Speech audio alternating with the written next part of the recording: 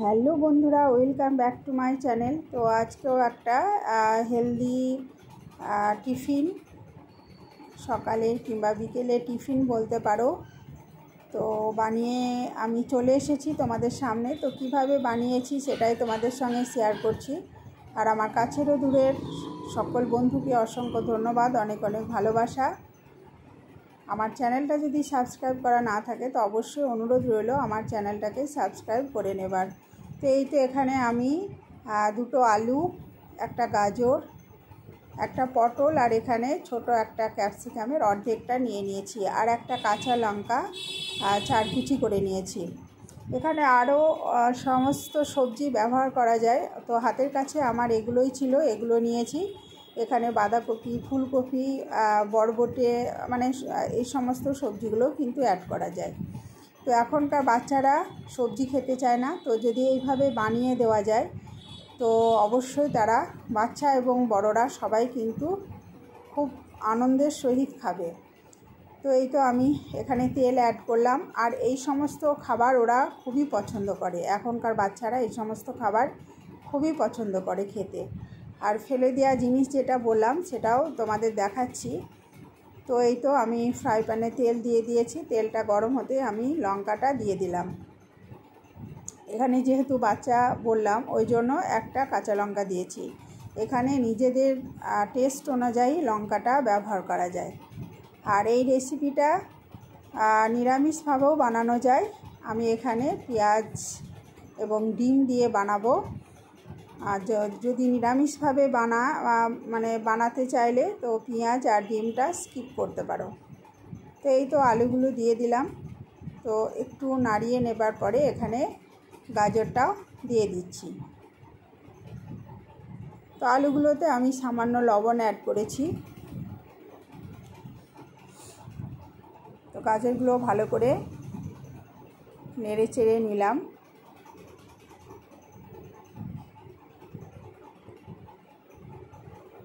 তো এই তো পটলটাও দিয়ে দিলাম।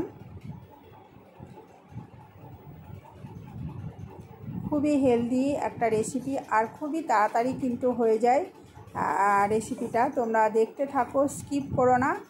তো দেখো কি বানাচ্ছি আমি।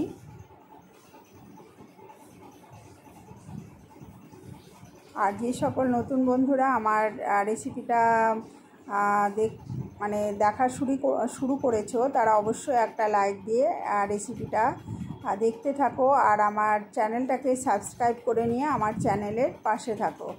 তো এই তো তারপরে ক্যাপসিকামটাও আমি দিয়ে দিলাম। তো সমস্ত সবজিগুলোকে একটু ভেজে নেব। তো এখানে তারপরে দেখো সামান্য হলুদ অ্যাড করছি।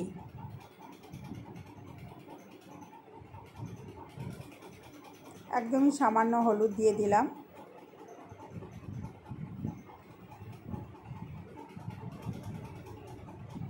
আর আমি আলুতে যে লবণ দিয়েছি মানে সামান্য একটু বেশি দিয়েছিলাম আলুর পরিমাণের চেয়ে, তো লবণ আমি এখন আর দেব না। তো তারপরে দেখো দুটো পেঁয়াজ কুচিয়ে নিয়েছি, তো পেঁয়াজগুলোকেও এখানে দিয়ে দিচ্ছি। আমি একটু মোটা মোটা সাইজেরই সবজিগুলো কেটেছি, খুব সরু করে কাটিনি। তোমাদের পছন্দ অনুযায়ী অনুযায়ী সবজিগুলো কেটে নেবে। তো এই তো পেঁয়াজগুলোকেও ভালো করে সবজির সঙ্গে ভালো করে ভেজে নিচ্ছি। আর এখানে যেহেতু আমি জল অ্যাড করব না, তো ওই জন্য সবজিটা যাতে ভালো মতো সিদ্ধ হয়, তো একটু চাপা দিয়ে রেখে দিলাম। আর এই যে ফেলে দেওয়া অংশ যেটা বললাম, এই যে পাউরুটির পাউরুটির যে সাইডগুলো আমরা কেটে রেখে দিই ফ্রিজে এগুলো অনেক মানে পকোড়া টকোড়াতেও ব্যবহার করা যায়। তাছাড়াও অনেক সময় কি হয় যে, ঠিক আছে, অল্প একটু আছে, তো হয়তো ফ্রিজেই থেকে যায়। তো ফ্রিজে না রেখে বা ফেলে না দিয়ে এই রকম একটা রেসিপি বানিয়ে দিলে না সবাই কিন্তু খুব চেটে পুটে খাবে। তো দেখো, আমার সবজিগুলো মোটামুটি সিদ্ধও হয়ে গেছে আর মোটামুটি ভাজাও হয়ে গেছে। তো এখানে জল এখানে কোনো রকম জল আমি অ্যাড করব না। তো ভালো মতো আবারও নেড়ে চেড়ে নিচ্ছি। তো নেবার পরে এখানে আমি একটা ডিম দিয়ে দেবো। এখানে আমি একটাই ডিম দেবো।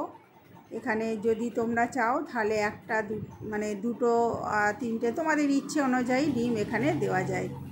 আমি এখানে একটাই ডিম অ্যাড করছি। তো ডিমটাকেও সবজির সঙ্গে ভালো করে মিশিয়ে নেব।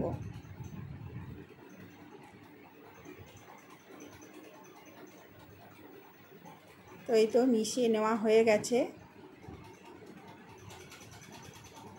এবার আমি পাউরুটিগুলো যে সাইডগুলো মানে রেখে দিয়েছিলাম, ওইগুলো দেখো লম্বা লম্বা করে কেটে নিয়েছি মানে হাত দিয়ে একটু টুকরো করে নিলাম। তো খুব কুচি কুচি করিনি, লম্বা লম্বা করে একটু হাতের সাহায্যে টুকরো করে নিলাম। তো এই তো সমস্ত সবজির সঙ্গে পাউরুটির সাইডগুলো যেগুলো টুকরো করে রেখেছিলাম, দিয়ে দিলাম। তো আবারও মধ্যখানটা ফাঁকা করে দেখো, এখানে দিয়ে দেব।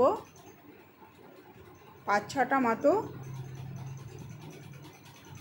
কারি পাতা। এই কারি পাতাটা দিলে খুব সুন্দর মানে একটা গন্ধ তো আসেই মানে খুব সুন্দর একটা সেন্ট আর খুবই টেস্টি হয় মানে খেতে খুবই ভালো লাগে। তো মানে খুবই ভালো লাগে খেতে। তোমরা অবশ্যই যদি এইভাবে না বানিয়ে বানিয়ে থাকো, তো অবশ্যই একদিন ট্রাই করতে পারো। সকালের টিফিন, বিকে, বিয়ে সকালের বা বিকেলের টিফিন বা রাতের ডিনার সব কিছুতেই কিন্তু এটা খাওয়া যায়। তো তারপরে দেখো, এখানে আমি দিয়ে দিলাম একটা ম্যাগি মশলা। তো ম্যাগি মশলাটা দিয়ে সমস্তগুলোই এবার ভালো করে নেড়ে চেড়ে নেব।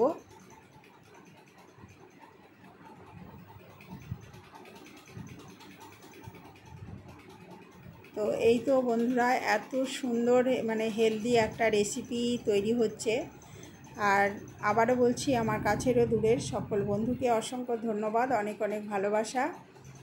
আর আমার চ্যানেলটা যদি সাবস্ক্রাইব করা না থাকে, তো অবশ্যই অনুরোধ রইল আমার চ্যানেলটাকে সাবস্ক্রাইব করে নেবার।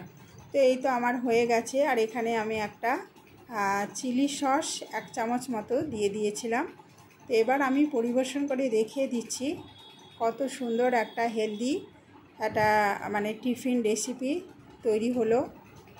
আবারও বলছি, একদিন অবশ্যই ট্রাই করতে পারো।